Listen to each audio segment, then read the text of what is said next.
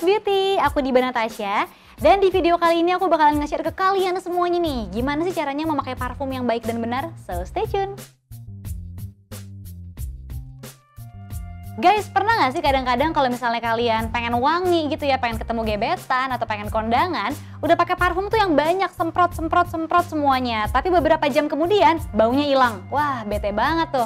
Nah, kalau gitu langsung aja aku bakalan ngasih tahu kamu titik yang gak boleh banget dilewatin pas kamu pakai parfum biar awet.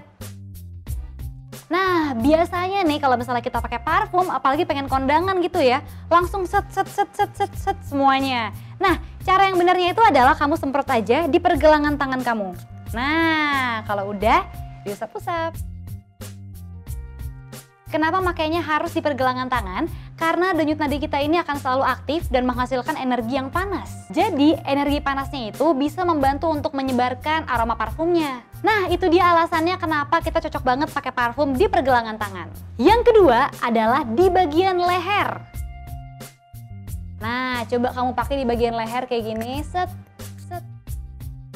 Kenapa sih makanya di leher? Karena di leher itu adalah salah satu pusat dari urat nadi yang ada di tubuh kita. Jadi kalau misalnya kamu semprotin tuh parfumnya di bagian leher kamu, apalagi di bawah dagu, itu bisa banget tuh menjaga keawetan bau parfumnya. Oke, selanjutnya adalah di telinga. Nah, kalau di daerah telinga ini, coba kamu pakainya tuh di daerah cuping telinga. Seperti ini nih. Dadah! Nah, kenapa di daerah telinga? Karena daerah telinga ini tuh cukup hangat juga, jadi bisa awet juga parfumnya, baunya kalau kita semprotin di daerah telinga. Dan selanjutnya adalah di bagian siku dalam. Nah, siku dalam itu di sini ya, kita semprotkan. Oke.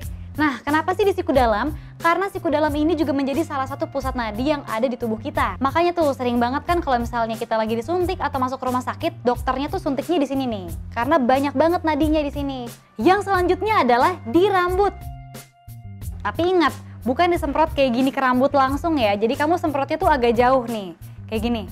Nah, jadi ternyata rambut itu bisa menyerap wangi parfum secara baik. Nah, rambut kita ini sering banget bergerak-gerak, gampang bergerak, dan sering banget ketiup angin. Jadi kalau misalnya ketiup angin, dari aroma rambutnya ini bisa menyebarkan bau-bau parfum kita. Selanjutnya adalah di pakaian.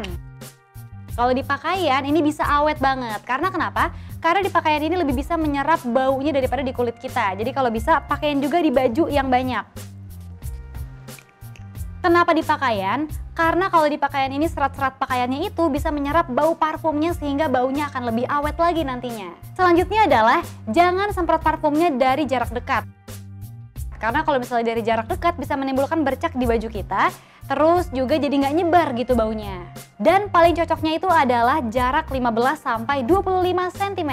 Yang terakhir adalah pakai lotion sebelum pakai parfum. Kenapa sih harus banget pakai lotion dulu? Karena kadang-kadang kalau misalnya kita langsung semprot itu kulit kita kering ya nggak sih? Terus juga kadang-kadang kalau kulitnya sensitif jadi suka gatal-gatal tuh. Jadi kalau bisa sebelum pakai parfum kamu pakai dulu hand body biar kulitnya juga terasa lebih lembab sepanjang hari. Kalau misalnya kamu takut nih baunya tercampur, tenang aja nggak usah takut. Karena kalau misalnya kamu pakai lotion dulu itu baunya akan lebih awet lagi. So guys, itu dia tadi cara pakai parfum yang baik dan benar. Semoga bermanfaat ya. So, see you on the next video. Bye-bye!